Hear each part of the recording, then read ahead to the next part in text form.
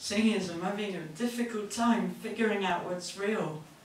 Life feels like I'm always on the other side of the bar with unlimited supply of alcohol.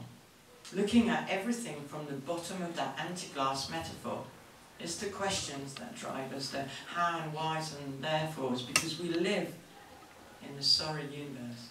It's engineered to create